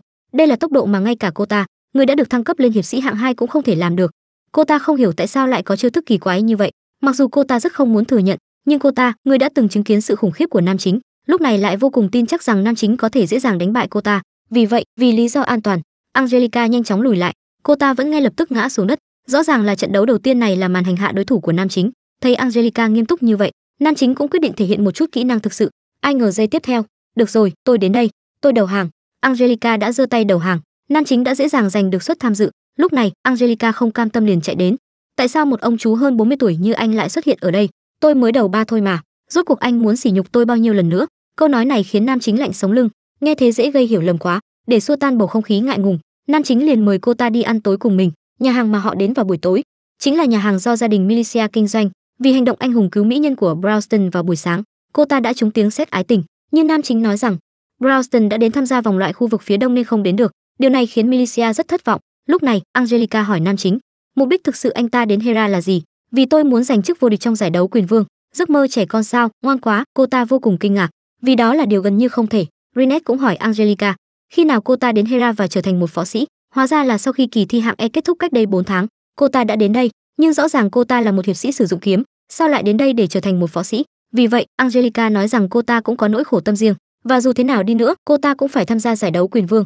Điều khiến cô ta không ngờ là nam chính cũng sẽ tham gia giải đấu năm nay, vì chỉ còn một tuần nữa là đến giải đấu, và điều kiện tiên quyết để vào vòng chung kết là phải giành được 40 trận thắng trong vòng loại trong vòng 6 tháng. Nhưng nam chính lại không quan tâm đến điều đó, vì anh ta cảm thấy chỉ cần tiếp tục chiến thắng là được. Xét cho cùng, điều này đối với quá trình luyện tập của anh ta chẳng đáng là gì, để có thể nhanh chóng tham gia giải đấu. Anh ta thậm chí còn xin được thi đấu 40 trận trong vòng 4 ngày, tức là mỗi ngày 10 trận. Vì vậy, ngày hôm sau, Nam Chính bắt đầu trận đấu đầu tiên của mình.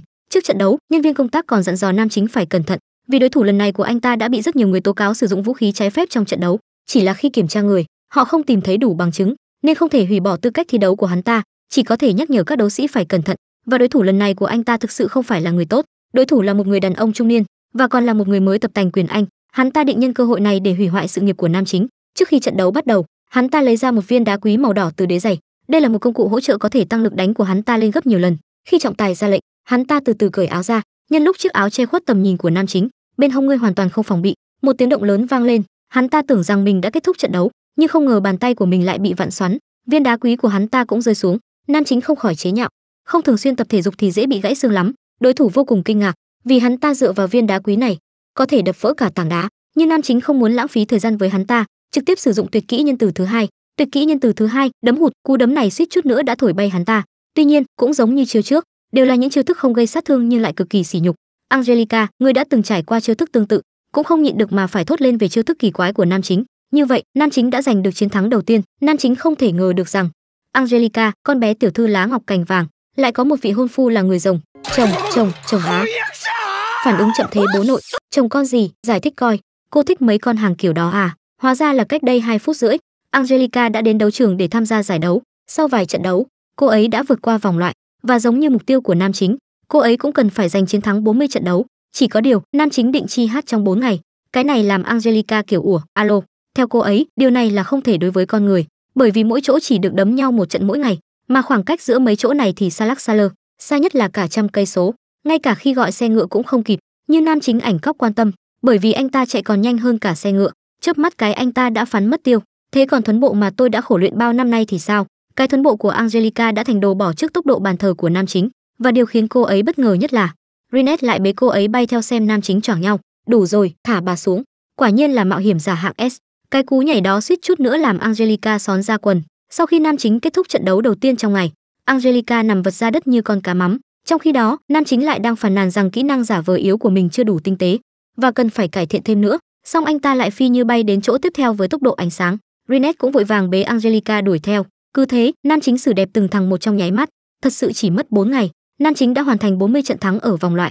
May mắn là sau khi cô ấy và nam chính cùng vượt qua vòng loại, họ không ở cùng khu vực thi đấu. Nếu không, cả đời này cô ấy cũng đừng hòng lọt vào vòng chung kết ẻn cứ tưởng gặp phải nam chính đã là xui tận mạng rồi. Aize Rinet lại phán một câu xanh dờn. Là vẫn còn một khứa châu chó cấp S khác đang càn quét ở khu vực phía đông. Điều này khiến hy vọng giành chiến thắng của Angelica lại một lần nữa tan vỡ. Và ngay lúc đó, cô ấy đã vô tình thốt lên suy nghĩ trong lòng. Dù không thắng nổi, tôi cũng phải làm cho thằng cha đó. Thằng cha đó là thằng cha nào? Nhận ra mình suýt chút nữa đã lỡ lời. Angelica vội vàng đánh chống lảng và lái sang chuyện nam chính với rinet em cứ tưởng rinet sẽ dễ nảy lên khi bị nói là bồ bịch với nam chính. Ai rinet lại tỉnh bơ vì tôi đang mê ngài rick đấy, câu này làm angelica câm nín luôn. Ngay lúc đó, một giọng nói vang lên. Cô ấy cứ nghĩ là có người đến bắt chuyện, nhưng không ngờ đối phương lại đến mời họ đi làm thêm. Vài tiếng sau, nam chính vừa chạy marathon 600 cây số về, thì gặp một người rồng lịch lãm. Người này tự giới thiệu mình là snap, chủ tịch giải đấu miền tây. Ông ta đã nghe đến. Nam chính cày 40 trận trong 4 ngày như hack game nên vội vàng lao đến bắt tay như fan cuồng. Lúc này, thằng đệ chạy đến mech là angelica lặn mất tam rồi. Nam chính lúc này mới biết snap và angelica quen biết nhau nhưng điều anh ta quan tâm hơn là snap giải nghệ khỏi đấu trường từ khi nào. Bởi vì ngay khi vừa bắt tay, nam chính đã thấy ngay dấu vết chinh chiến trên tay snap. Mà đó là chuyện của 20 năm trước đối với snap. Đối với snap, đó là những ký ức không thể nào quên. Tiếng hò reo chiến thắng năm nào vẫn còn in đậm trong tâm trí ông ta. Nhưng thật đáng tiếc, ông ta đã giải nghệ ở tuổi 23 nam chính tò mò dã man muốn hóng drama, nhưng snap đã dừng cuộc trò chuyện. Và nhờ nam chính gửi lời hỏi thăm đến angelica. Rồi lên xe ngựa rời đi. Sau đó, nam chính đến quán ăn. Militia trông có vẻ lo lắng snap là người của thương hội người rồng. Tuy bề ngoài là một quý ông, nhưng luôn có tin đồn ông ta có quan hệ với thế giới ngầm. Mà nghe đâu ổng là mạnh thường quân cho cái giải này. Nam chính không ngờ snap lại có thân phận phức tạp đến vậy. Chưa kịp để nam chính hiểu rõ tình hình, thì nghe mấy thằng bàn bên cạnh buôn dưa lê bán dưa chuột. Nghe bảo năm nay giàn thỏ ngọc toàn hàng tuyển, nhất là em hắc tinh linh mới vào, ngon dã man. Mà hai em đang bị bàn tán kia chính là Renette và Angelica. Do thiếu nhân lực, họ đã được điều đi làm thêm ở quán rượu với vai trò thỏ ngọc. Mà body hai em thì khỏi phải nói, khách vào quán cứ gọi là nườm nượp bỗng dưng đâu xuất hiện một thằng xe bí tỉ kéo một em thỏ ngọc lại. Đòi đưa em ý về tâm sự. Em kia sợ quá chạy mất dép. Sau đó tên say xỉn liền đưa tay sàm sỡ Angelica. Và bị ẻm cho ăn đấm no nê. Chưa kịp để cô ấy dạy dỗ hắn ta thêm nam chính đã vội vàng chạy đến. Trong lúc cô ấy còn đang xấu hổ Rinette cũng bước đến.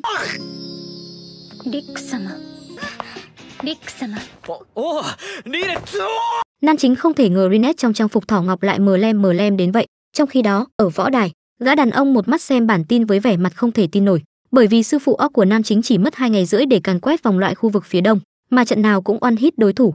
Kelvin thì lại chú ý đến thành tích đỉnh cao của nam chính, anh ta rất mong chờ được so tài với nam chính trong năm nay. Hóa ra, năm xưa khi gã đàn ông một mắt tìm thấy Kelvin ở khu ổ chuột, anh ta đã là một kẻ bất khả chiến bại. Chính gã đã đưa Kelvin đến Hera và biến anh ta thành nhà vô địch.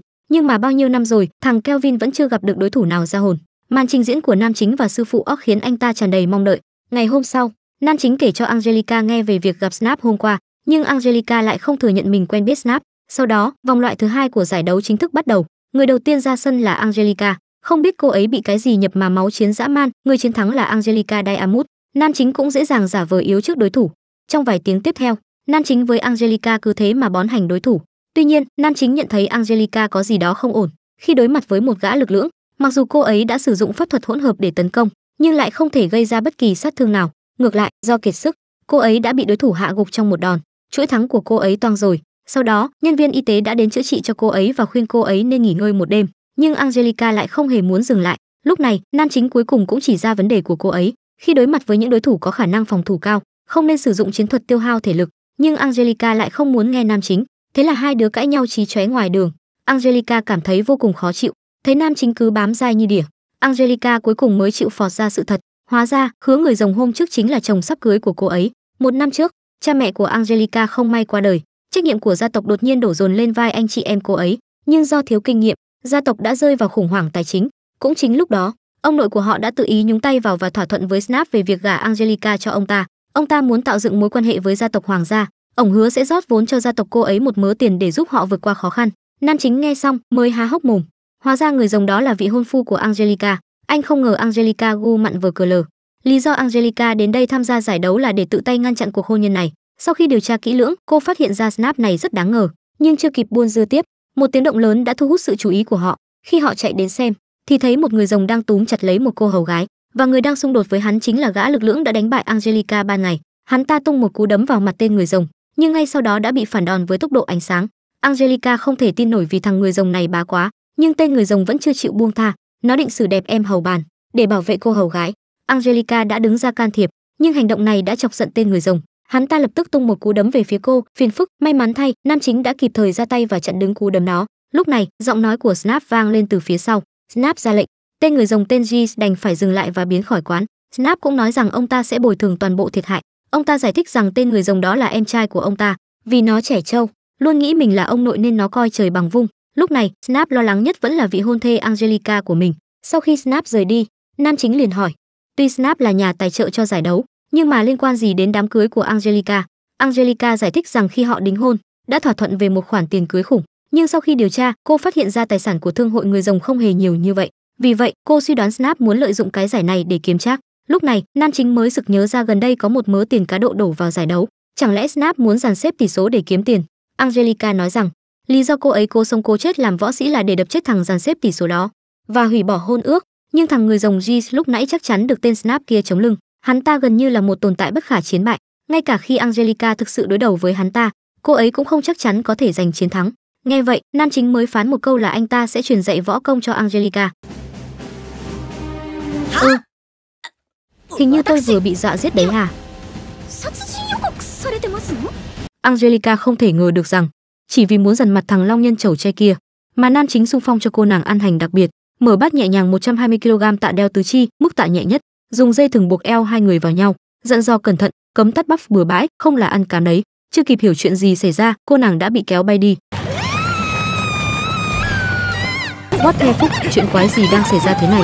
Lúc này, mỗi bước chân của cô nàng đều không phải tự nguyện, nhưng nếu không làm vậy, chắc chắn cô nàng sẽ bị lôi đi với cái mặt cả xuống đất. Anh dai chém gió. Cách này giúp nhớ dai cảm giác bay lắm, hiệu quả bá cháy. Hai năm trước, chính anh ta cũng bị hành xác như vậy, không đủ 6 tiếng đồng hồ thì không được dừng lại. Angelica gào thét thảm thiết, anh dai vẫn mặt lạnh như tiền. Vèo một cái, màn tra tấn đầu tiên kết thúc. Angelica nằm thở thoi thóp, tưởng gần đất xa trời.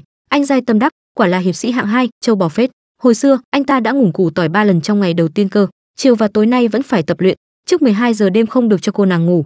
Thế là Angelica cảm nhận được sự tuyệt vọng thực sự. Cứ như vậy, cực hình kéo dài suốt 5 ngày. Giờ đây, cô nàng lúc nào cũng nghĩ đến chuyện bỏ trốn, tiếc là chưa được hai phút rưỡi đã bị tóm gọn. Theo nam chính, có suy nghĩ như vậy là rất bình thường. Trong vòng 2 năm, anh ta đã thử bỏ trốn hàng triệu lần. Tuy nhiên, kết cục chỉ có chơi lại từ đầu, bị lôi về cho ăn hành tới bến. Dưới sự yêu thương của sư phụ chọc đầu, anh ta đã trải qua hàng vạn lần hồi sinh.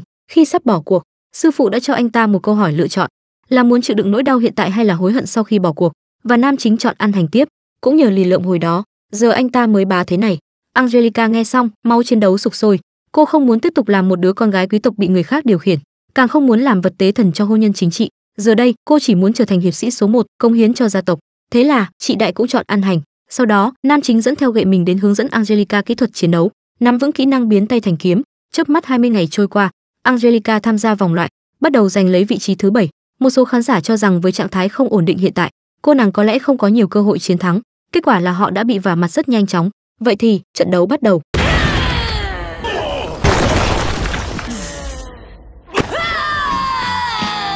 Người chiến thắng là Angelica Diamond. Vì đã trải qua thời gian dài bị hành hạ phi nhân tính, cô hiệp sĩ hiền lành hóa thành chiến binh máu chó. Ngày hôm sau, cộng thêm 7 tuyển thủ khu vực phía đông, Nhà vô địch và các tuyển thủ dự bị của nhà tài trợ, tổng cộng 16 người, sẽ được ghép cặp ngẫu nhiên thông qua bốc thăm. Thấy Browston bốc trúng hàng bên phải, nam chính mới thở phào nhẹ nhõm. Gặp ổng lúc này chắc dơ cờ trắng luôn. Còn nhà vô địch bốc được số 16, có nghĩa là anh ta sẽ đấu với Browston trước nam chính.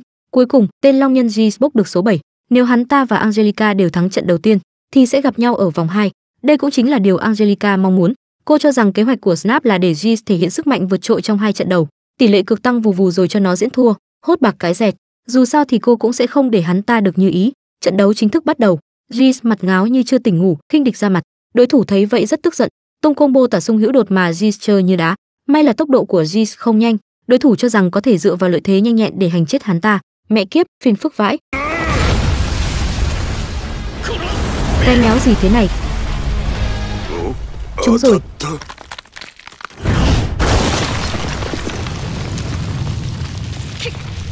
KO qua trận đấu này, Angelica biết đối thủ không phải dạng vừa, khỏe như châu thì đúng rồi, nhưng động tác lại giống như một người mới, hoàn toàn không có kỹ thuật gì cả điều này thật kỳ lạ. Sau đó, cả ba người họ đều dễ dàng vượt qua vòng đầu tiên. Tuy nhiên, đến lượt kevin, nam chính và những người khác cảm thấy có gì đó không ổn. Ban đầu, anh ta đọc vị đối thủ như hách browston giải thích, tộc người chó có khứu giác nhạy bén, có thể biến mọi thứ thành mùi hương, thậm chí có thể suy đoán trước tương lai. Lẽ ra rất khó để đánh trúng kevin. Nhưng ngay sau đó, anh ta đã bị đánh ngã xuống đất. Rõ ràng là diễn rồi. Khi mọi người nghĩ rằng anh ta định đánh giả, kevin lật kèo, cho đối thủ ăn một đấm ngủm củ tỏi. Ngay cả đồng đội cùng câu lạc bộ cũng phải thốt lên, kevin, hôm nay lên cơn gì thế này? Chớp mắt đã đến ngày hôm sau, snap lù lù đến ngồi cạnh nam chính. Nam chính hỏi tại sao hắn không ngồi ở khu vực vip chỉ vì đây là trận đấu của em trai và hôn thê tương lai, nên hắn ta muốn xem ở cự ly gần. Cùng lúc đó, hai người họ chạm mặt nhau ở hậu trường. Trong cuộc trò chuyện, cô nàng biết được Jis chưa bao giờ tập luyện. Mỗi ngày ăn chơi nhảy múa mà vẫn bá hơn người ta. Nói tóm lại, hắn ta không chỉ là thiên tài mà còn sở hữu dòng máu cao quý. Theo như thỏa thuận với snap, trong trận đấu tiếp theo, hắn ta sẽ không đánh vào mặt và bụng angelica. Bị coi thường như vậy, cô nàng tức giận đến mức bốc hỏa. Trên võ đài ngay khi trận đấu bắt đầu, cô nàng đã tung chân tấn công trước. Kết quả không nằm ngoài dự đoán, hoàn toàn không thể lay chuyển đối thủ. Ngay cả phần eo yếu ớt nhất cũng không có tác dụng. Cô nàng liên tục sử dụng kỹ năng dịch chuyển để kéo dài khoảng cách. Vì những chiêu thức thông thường đều vô dụng, cô nàng quyết định sử dụng kỹ năng mới học được. Ngay khi ma lực cường hóa được giải trừ, snap và Jis đều ngứa người. Làm vậy khác gì từ bỏ chống cự. Tôi tin angelica tiểu thư có thể làm được. Phản ma lực, phản chiếu. Loằng ngang cái gì cũng vô dụng thôi huấn bộ lũ rác rưởi bọn mày hãy ngoan ngoãn nằm im đó cho tao. Tiến chẳng tốt lắm. Ngươi nói xem. Ai mới là cùi bắc hà? cô gái chẳng thể ngờ được rằng, bản thân vất vả lắm mới học được tuyến chảm dùng ngón tay làm lưỡi đao, nhưng khi đối đầu với tộc người rồng thì lại bị đánh cho không có sức phản kháng chỉ vì jis từ nhỏ đã có khả năng học tập thiên tài, bất kể là chiêu thức nào, chỉ cần xem qua vài lần là có thể học được. Angelica ngay lập tức mất đi ưu thế về tốc độ, bị jis một quyền đánh bay vào tường. Snap thấy vậy liền cười phá lên. Kết quả này hắn ta đã sớm dự liệu được. Hắn ta nói với nam chính rằng bản thân với tư cách là nhà tài trợ, nhưng chưa từng nghĩ đến việc để jis thi đấu giả, bởi vì sự mạnh mẽ của jis là không thể nghi ngờ. Snap trước đây cũng là một võ sĩ quyền anh nổi tiếng, nhưng khi gặp jis mới 8 tuổi, lập tức bị hành cho tay tua vậy nên mục đích hắn ta đưa Jis đến đây lần này chính là để giành chức vô địch. Dù sao thì ai mà ngờ được nhà tài trợ lại tùy tiện đưa đến một tuyển thủ vô danh lại mạnh mẽ như vậy. Angelica vẫn còn muốn phản kháng, nhưng Jis căn bản không định nương tay. Hắn ta ngày thường rất coi thường những kẻ không có thiên phú mà lại muốn khiêu chiến mình. Thắng bại đã quá rõ ràng, nhưng Jis vẫn còn định tiếp tục hành hạ angelica. Nam chính thực sự không nhịn được nữa ném giày ra để làm lệch hướng đòn tấn công của Jis. lúc này angelica đã ngất xỉu và trận đấu được tuyên bố kết thúc. Sau đó Jis tìm đến nam chính hắn ta muốn nam chính phải trả giá cho chuyện vừa rồi nhưng Jis chẳng thể ngờ rằng tốc độ của nam chính lại nhanh đến mức đáng sợ. Chỉ trong 0,25 mili giây đã cướp lấy đôi giày sau đó thong thả buộc dây giày. Nam chính nói rằng đánh bại anh ta ở nơi này chẳng có ý nghĩa gì. Anh ta sẽ đánh bại Jis trong trận bán kết ngày mai. Tiếp đó trận đấu vòng 8 người mạnh nhất tiếp tục bắt đầu. Nam chính và sư phụ óc đều giải quyết đối thủ bằng một đòn. Còn nhà vô địch năm ngoái Kelvin vẫn như cũ là diễn một màn thua trước rồi sau đó lật kèo. Thời gian thấm thoát thoi đưa đã đến sáng hôm sau angelica đã tìm đến nam chính cô ấy rất xin lỗi vì nam chính đã dành nhiều thời gian để luyện tập cho một người không có thiên phú như cô ấy nhưng nam chính lại nói rằng người nên xin lỗi là anh ấy anh ấy đã không nhìn ra thực lực của Jis nên mới để Angelica bị thương. Vậy nên trong trận đấu tiếp theo anh ấy muốn chứng minh Angelica không phải là người không có thiên phú. Câu nói này khiến Jis cảm thấy buồn cười. Những kẻ không có thiên phú như các người sao có thể đánh bại ta được. Nhưng không ngờ rằng vừa dứt lời, đã bị một đòn đánh thường của nam chính đánh cho quỳ xuống đất. Jis cảm thấy không thể tin được. Chắc chắn chỉ là trùng hợp bị nam chính đánh trúng thôi. Nói xong liền lao về phía nam chính. Tuy nhiên điều này đã bị nam chính nhìn thấu từ lâu. Né người sang một bên rồi nhẹ nhàng vỗ một cái vào ngực Jis cú đánh mạnh mẽ khiến Jis ngay lập tức phun ra máu angelica tưởng rằng sức mạnh của nam chính rất lớn nhưng sư phụ Rinet giải thích rằng nam chính gần như không sử dụng sức mạnh đó chỉ là một loại kỹ thuật điều khiển cơ thể có tên là thông kích có thể truyền lực đánh vào bên trong cơ thể thông qua bề mặt để gây sát thương vậy nên dù bề ngoài của Jis có cứng rắn đến đâu cũng không thể nào đỡ được đòn tấn công từ bên trong, bị vả mặt tại chỗ hai lần. Jis không nhịn được nữa, liền trực tiếp sử dụng ma pháp cường hóa cố hữu của tộc người rồng. Ma pháp này rất tốn ma lực, nhưng Jis từ khi sinh ra ma lực đã gấp nhiều lần người thường, vậy nên dù sử dụng trong thời gian dài cũng không ảnh hưởng quá lớn. Nam chính bị một quyền đánh bay vào tường, sau đó bật ngược lại giữa sân đấu, nhưng không ngờ rằng khi dùng ma pháp cường hóa thì tốc độ của Jis lại nhanh đến mức đáng sợ, ngay lập tức đã đuổi kịp anh ta. Lúc này Browston đã nhìn ra vấn đề, nam chính căn bản không hề dốc hết sức mà là đang cố tình nhường. Tuy nhiên Jis lại hoàn toàn không nhận ra, không ngừng tiêu hao ma lực ra sức tấn công nam chính. Nhìn nam chính đang bị mình đánh, Jis tưởng rằng mình đã thắng chắc. Snap thậm chí còn xin lỗi Browston. Thật đáng tiếc Jis chính là mạnh mẽ như vậy đấy, nhưng không ngờ rằng khoảnh khắc nam chính đứng dậy thì tất cả mọi người đều kinh ngạc. Chỉ vì nam chính đã trúng nhiều đòn tấn công như vậy, nhưng lại gần như không hề bị thương, thậm chí còn bắt đầu chế nhạo Jis sắp hết hơi rồi. Rinet giải thích rằng, đó cũng là một trong những kỹ thuật điều khiển cơ thể có tên là lưu kích, có thể phân tán lực đánh nhận phải trong cơ thể. Như vậy thì gần như sẽ không bị tổn thương gì cả. Riz nghe vậy thì rất tức giận. Chẳng lẽ vừa nãy hắn ta vẫn luôn nhường mình sao? Nam chính nói đúng vậy nhưng có một điểm khác biệt. Anh ấy đã giới hạn sức mạnh cơ thể của mình xuống ngang bằng với Angelica. Nói cách khác là Riz bây giờ đang đấu với Angelica khi cô ấy dốc toàn lực. Riz lập tức sôi máu, bất chấp tiêu hao ma lực mà sử dụng thiết khối toàn thân, sau đó kết hợp với thép quyền và thuấn cước tạo thành bộ ba kỹ năng nhưng với nam chính mà nói thì điều này quá dễ dàng để nhìn thấu vẫn là né người sang một bên rồi kết hợp với cú đánh nhẹ nhàng đó Riz ngay lập tức bị phá vỡ phòng thủ quỳ dạp xuống đất Snap ngây người tại chỗ. Đây là lần đầu tiên hắn ta thấy Jis bị dồn vào đường cùng như vậy. Nhưng điều đó không quan trọng, bởi vì tộc người rồng còn một chiêu cuối cùng. Jis tiêu hao toàn bộ ma lực, sau đó sử dụng ma pháp cường hóa toàn thân cự long hồi quy. Chỉ trong nháy mắt Jis đã biến thành một con rồng khổng lồ. Angelica cảm thấy đây là đối thủ mà cô ấy tuyệt đối không thể nào đánh bại. Và sự thật đúng là như vậy. Nam chính đã tự giới hạn sức mạnh của mình, bị đánh cho không có sức phản kháng, không chỉ tốc độ bị áp đảo, mà ngay cả thông kích vừa nãy cũng mất tác dụng. Reese bắt đầu chế nhạo là có con bọ nào đang tấn công mình sao? Nam chính hơi đau đầu. Cơ thể của hắn đúng là có lợi thế quá lớn. Nghĩ thế nào cũng thấy không thể thắng được. Duy rất hài lòng. Cuối cùng mày cũng biết sợ rồi sao? Nam chính trả lời không hẳn. Với thực lực hiện tại của Angelica thì đúng là không thể đánh bại hắn. Nhưng nếu là cô ấy sau một năm luyện tập thì chưa chắc đâu. Nói xong nam chính liền bắt đầu giải phóng sức mạnh. 6 tháng 9 tháng, chết tiệt 12 tháng, không thấy gì cả. Nhanh quá, mặc dù là tốc độ mà hiện tại mình hoàn toàn không thể sánh bằng nhưng đó chắc chắn là động tác của thuấn cước, đó là sức mạnh của mình sau một năm liên tục tôi luyện trong địa ngục. Nỗ lực bình thường không thể nào vượt qua được sự khác biệt về thể chất bẩm sinh. Cần phải có sự điên cuồng để kiên trì với nỗ lực vượt qua lẽ thường. Sau một tháng nỗ lực đến chết đi sống lại, vẫn thua đối thủ, phát hiện ra vẫn phải cố gắng thêm một năm nữa mới có thể thắng được. Chiếc cân của cô sẽ nghiêng về bên nào? Câu hỏi ngu ngốc. Từ khi sinh ra, chiếc cân của tôi đã luôn nghiêng về một bên. Ngươi định làm gì đây Jis? nếu ngươi muốn thắng, thì chỉ có thể dựa vào ý chí quyết tử. Nhưng đây lại là thứ mà ngươi luôn coi thường nếu ngươi làm được, ta cũng sẽ tiếp chiêu. Tại sao ta phải làm cái trò nhàm chán đó chứ? Đã đến lúc kết thúc rồi. Câm miệng câm miệng câm miệng. Đồ phế vật rác rưởi hạ đẳng. Bí quyết là cảm nhận không khí, vung nhẹ phần đuôi, tuyến chảm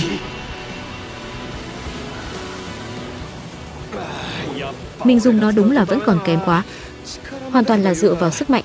Nếu là Renet nhất định sẽ chém đối thủ làm đôi tại chỗ.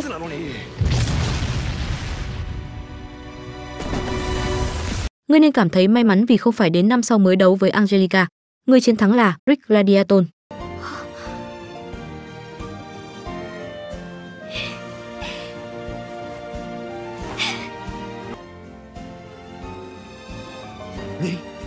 Sau khi nam chính thắng trận đấu, trận đấu tiếp theo là giữa Browston và Kelvin, là nhà vô địch quyền Anh nhiều năm liền. Kelvin đương nhiên rất nổi tiếng, nhưng ngay sau khi anh ta đấu với Browston được mười mấy chiêu, người rồng đã bị nam chính đánh bại trước đó đột nhiên phá tường lao ra, và có vẻ như nó đã mất kiểm soát, thậm chí còn lao vào khán đài tấn công. Kelvin cực kỳ khinh thường hành động của người rồng, thậm chí còn lên tiếng của trách nó. Người rồng nổi giận lao về phía anh ta, kết quả là không chỉ bị chặn đứng tấn công một cách dễ dàng, Kelvin thậm chí còn dùng một cú đấm đóng nó vào tường không thể nào gỡ ra được vì người rồng đã phá hoại khán đài trận đấu của Kelvin buộc phải hoãn lại một ngày anh ta cũng cảm thấy hơi tiếc về điều này buổi tối khi nam chính đang chạy bộ khởi động 8.000 km thì vô tình phát hiện Kelvin đang luyện tập trong một vùng núi hoang vắng. Anh tò mò tiến lên chào hỏi. Không ngờ Kelvin lại ngứa ngáy tay chân trực tiếp ra đấu với nam chính. Nam chính cũng quyết định nghiêm túc. Ngay lập tức tung ra một đấm cực kỳ nhanh, khiến Kelvin sợ quéo cả hàng. Nam chính nhận ra rõ ràng anh ta có thể né được chiêu này. Tại sao trong giải đấu lại bị loại bởi kiểu tấn công đó? Liên đoán rằng chắc chắn là Kelvin có ẩn tình. Lúc đó anh bị nghẹt mũi à? Nghĩ gì vậy ba?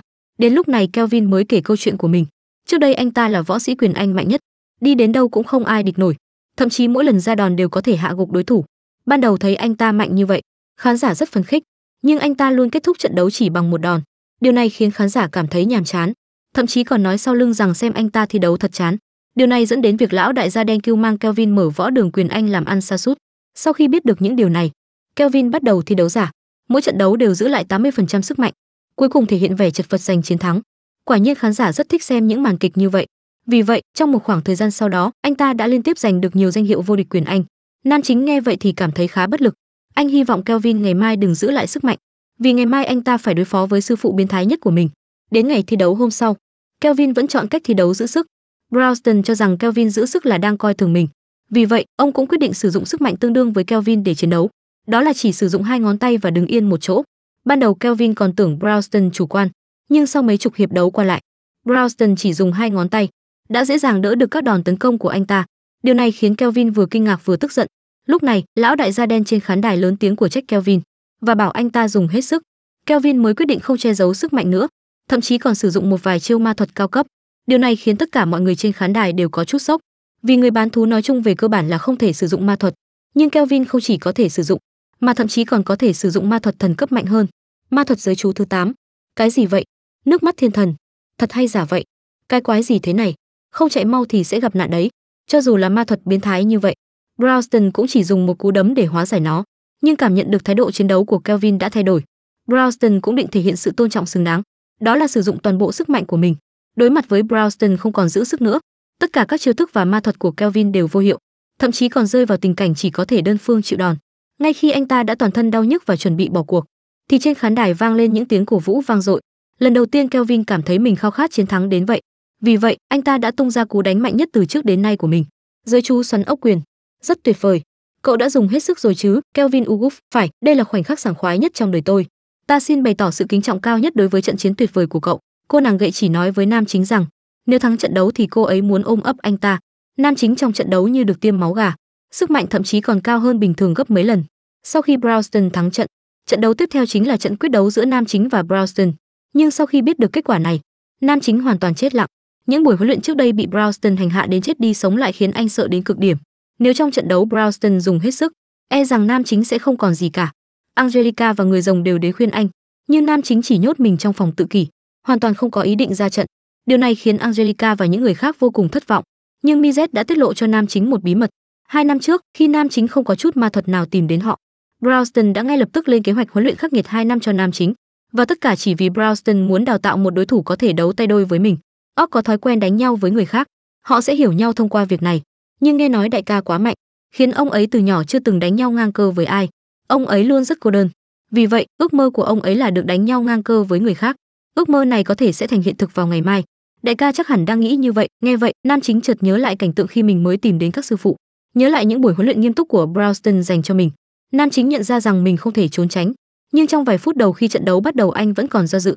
Lúc này, em nghệ tiến lên thì thầm vài câu bên tai nam chính. Nam chính bỗng chốc vô cùng phấn khích, trận đấu bắt đầu. Đó là thống bộ à, nhưng cũng quá nhanh rồi.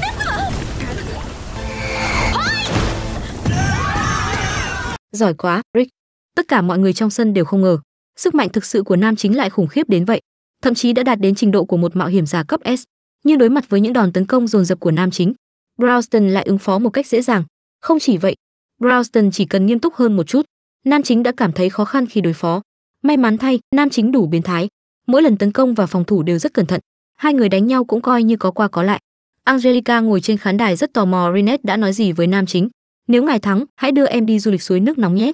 Suối nước nóng, nếu tôi thắng, thì chúng ta có thể đi du lịch suối nước nóng. Cô nghiêm túc chứ? Du lịch suối nước nóng là phải qua đêm đấy. Trong lúc mấy người đang trò chuyện, Browston đã trực tiếp tấn công nam chính. Nam chính thậm chí còn sử dụng ma thuật giới chú thứ nhất lên Browston.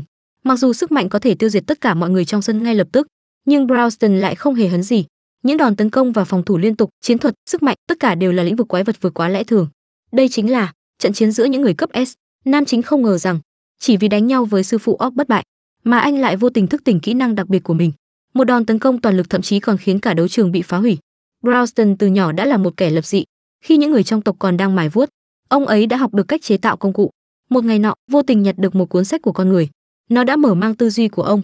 Từ đó về sau, Browston vô cùng khao khát tri thức. Sau khi tìm hiểu về văn hóa loài người, ông đã dạy văn hóa loài người cho đồng tộc của mình, dạy họ cách chế tạo công cụ và nhóm lửa. Nhưng lâu dần, đồng tộc chỉ coi ông như thần thánh rồi kính nhi viễn chi. Browston cũng rất bất lực về điều này. Từ đó, sự cô đơn luôn ở bên cạnh ông. Vì vậy, Browston rất mong có người có thể giao lưu tình cảm với mình bằng cách đánh nhau. Sau khi biết được ước mơ của Browston, nam chính ngay lập tức quyết định đánh nhau thân thiện với ông. Sợ hãi gì chứ? Tổn thương tâm lý gì chứ? sao tôi lại muốn trốn tránh tiền bối chứ?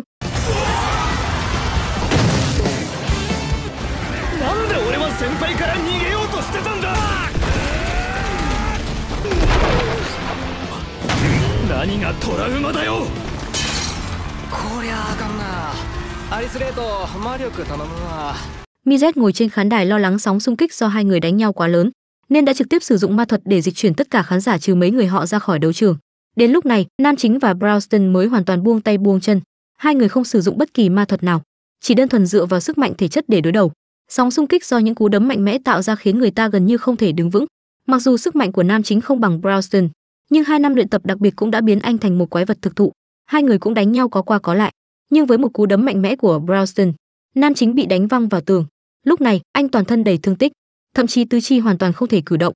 Nhưng anh hiểu rằng Browston vẫn chưa thỏa mãn, mình cần phải đánh thêm vài chục hiệp nữa với ông. Chính nhờ ý chí kiên cường này, kỹ năng đặc biệt của nam chính cuối cùng cũng được kích hoạt.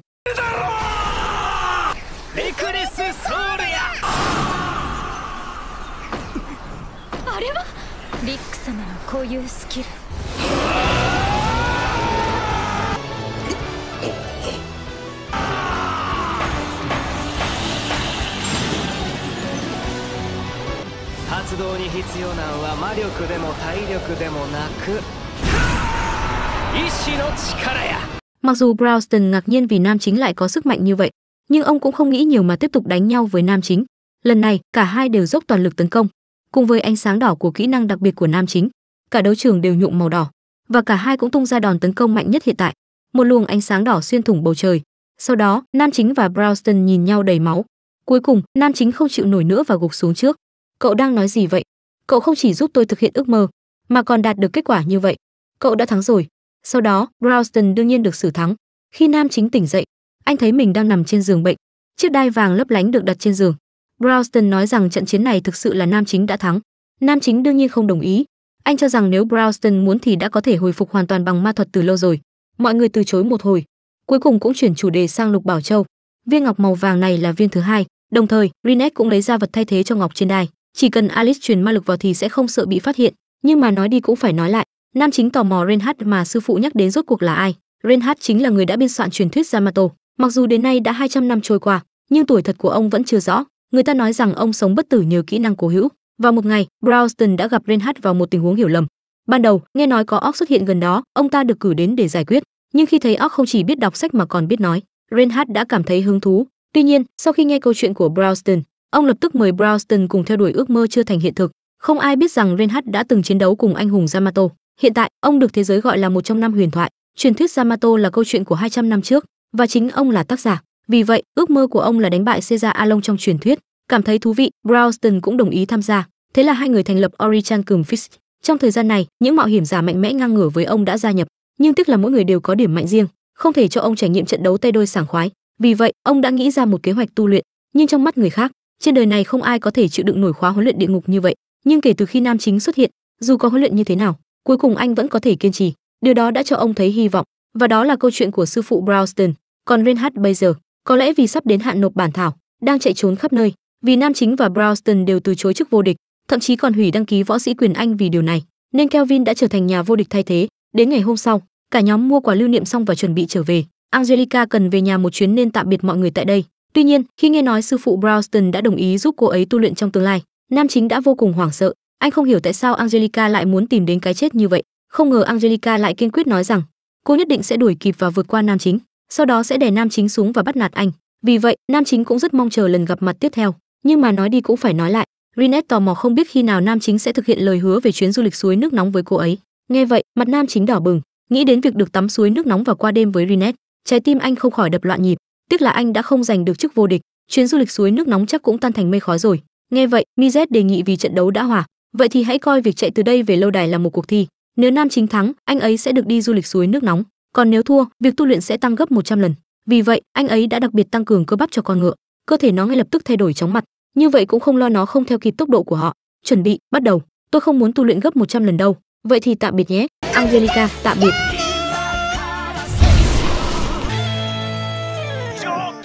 Cuối cùng họ vẫn như vậy.